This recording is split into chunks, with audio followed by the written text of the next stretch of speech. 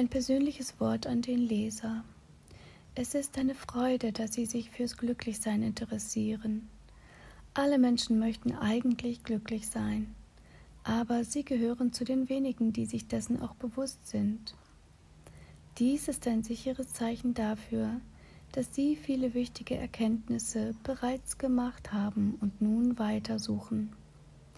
Ich hoffe, dass Sie in diesem Buch finden werden, was Sie suchen und mehr.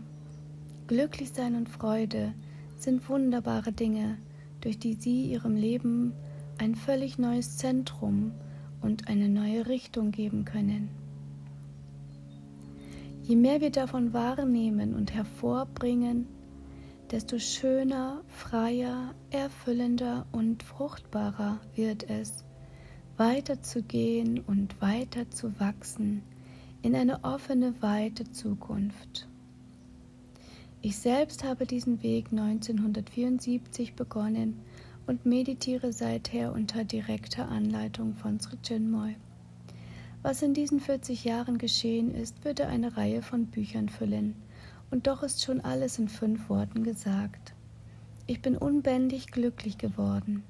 Ich glaube nicht, dass mich noch irgendetwas davon abhalten kann, in der Meditation jeden Tag zutiefst glücklich zu sein. Und ich kann beobachten, dass es mir gelingt, im äußeren Leben auch unter intensiver Belastung immer schneller wieder zu einer völlig unbeschwerten Fröhlichkeit zurückzufinden. Doch das ist noch lange nicht das Ende, ganz im Gegenteil. Damit hat das Leben eigentlich erst richtig angefangen.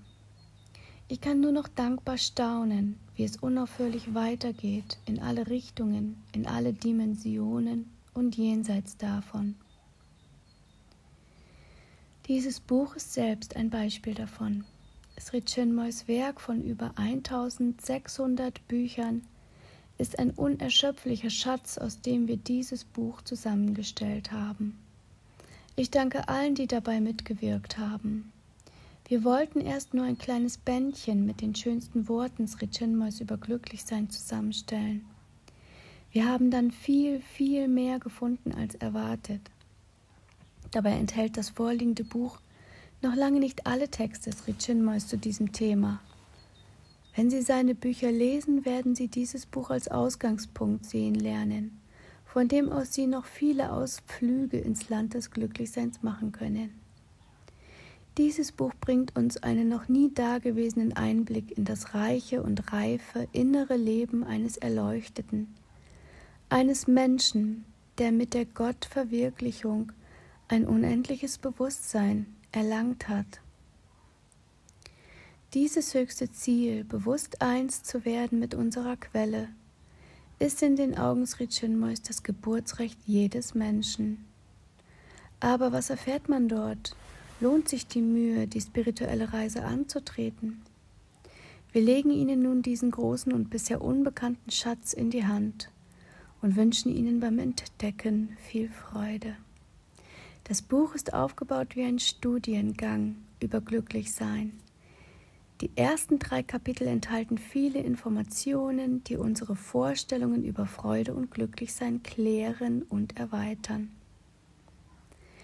Im Kapitel 4 finden wir eine Reihe praktischer Übungen, die uns in eigene Erlebnisse führen und mit denen wir je nach Situation in die Lage kommen, unsere Gemütslage oder besser gesagt unser Bewusstsein zu verbessern.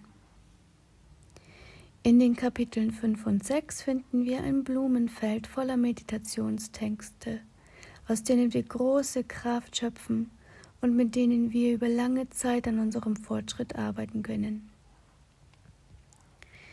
Im Kapitel 7 schließlich erfahren wir die höchsten Zusammenhänge, wie sie nur von einem verwirklichten und sehr erfahrenen spirituellen Meister so klar und gültig dargestellt werden können. Ich bin davon überzeugt, dass dieses Buch viele Leser zur praktischen Arbeit an sich selbst inspirieren wird.